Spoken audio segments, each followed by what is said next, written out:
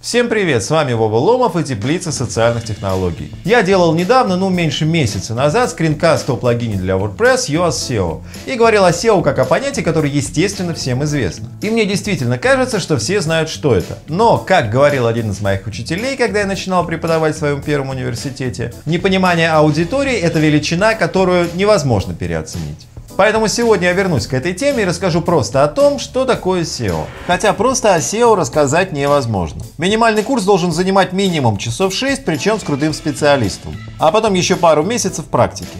У нас с вами 2 минуты, так что поехали. Вы вводите запрос в поисковой строке Яндекса, например, Яндекса, скажем, купить холодильник, и видите после рекламного блока, что на первом месте в выдаче идет Эльдорадо, потом Техносила, потом какой-то РБТ и т.д.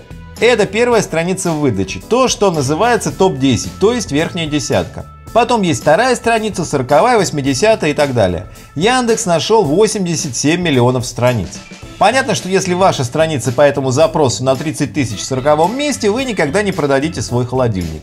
Так вот, SEO – это комплекс мер, которые вы предпринимаете у себя на сайте для того, чтобы подняться в поисковой выдаче по какому-то запросу. Что и на каком месте выдавать определяет алгоритм Яндекса. MatrixNet, построенный на методе машинного обучения. Поисковые пауки или краулеры заползают на ваш сайт, проползают по всем ссылкам, по каким-то своим критериям анализируют его, алгоритм анализа держится в строжайшем секрете. Этот анализ называется индексированием. Результаты индексирования заносятся в базу, и при оценке релевантности запроса Яндекс уже не бежит снова по всем сайтам, а работает с этой проиндексированной информацией. Соответственно, вы не можете указывать Яндексу, что выдавать на первом месте, а что на втором. Но вы можете сделать свой сайт или страницу так, чтобы Яндекс сам решил, что ее нужно выдать на первом месте или на втором. Ведь он же не человек, он машина, железка, хотя и очень умная. А сейчас, когда он задействовал нейросети в индексировании сайтов, еще и хитрая. Вот в былые добрые времена, скажем, году в 98-м, когда весь Яндекс размещался на трех компьютерах, провести его мог ребенок. Да что там 98-й, еще лет 7 назад существовали ссылочные фермы. Тогда индекс цитирования играл одну из главных ролей в выдаче, и простым наращиванием ссылочной массы, правильно расставляя болды и H1, да что там H1, внутренней перелинковкой можно было выскочить в топ-3 по высокочастотному запросу. Хотя в последнее я никогда не верил, но при этом всегда линковал. Да, но есть и плюсы. Раньше Яндексу можно было подпихнуть все, что угодно, были бы деньги. Ну, конечно, не совсем уж что угодно, но SEOшники действительно сильно могли влиять на выдачу.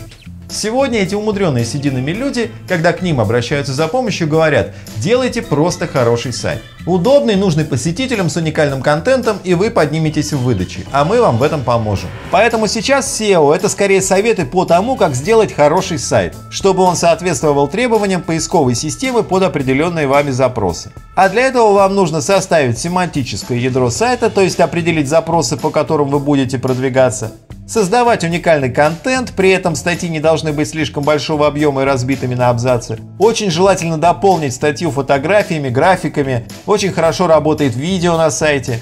С технической точки зрения важны параметры title, заголовки в теге H1 и description. Это то, что осталось от старого SEO.